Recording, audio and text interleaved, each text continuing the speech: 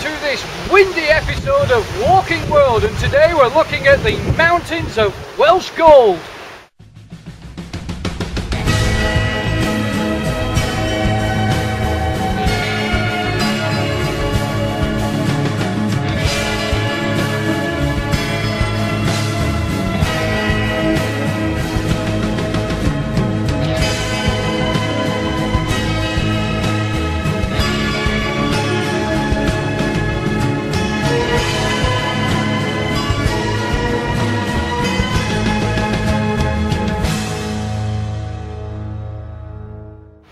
Well, we're on the banks of Foel Ispri, and underneath our feet is one of the many gold mines of North Wales. And in the background, you can see the peak of Rhobell Fawr. And underneath that peak, there's another gold mine. That one's Gwynfynydd. It closed in 1998, but for the Queen's 60th birthday, a kilogram of Welsh gold was mined from that gold mine and given to her as a present. But today we're going to investigate the mountains around the area. And it's this way. You drink your coffee and I sip my tea and we're sitting here playing so cool thinking what will be will be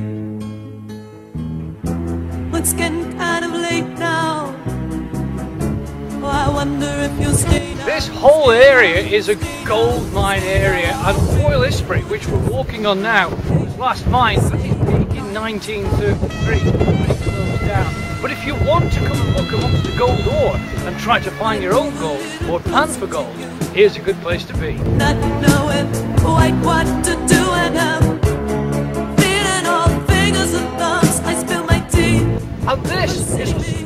Tip. This is where the waste ore was thrown when the miners were mining the gold.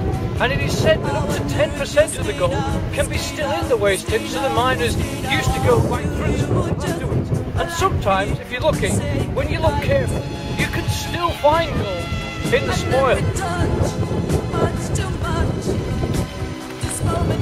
like this.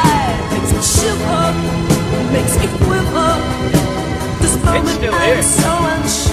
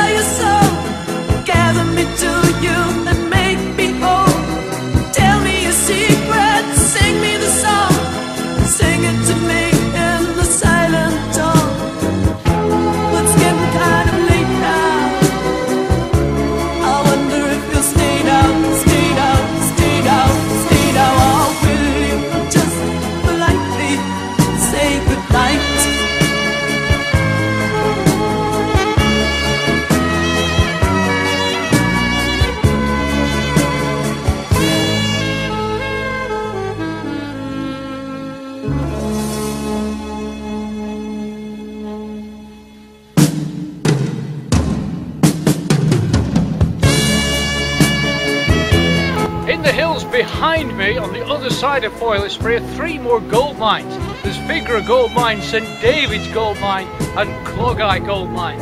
And Clogau Gold Mine was the most recently worked, and just like its twin sister Gwynfynydd, closed in 1998. But you can still buy Clogau Gold in the retail shops today.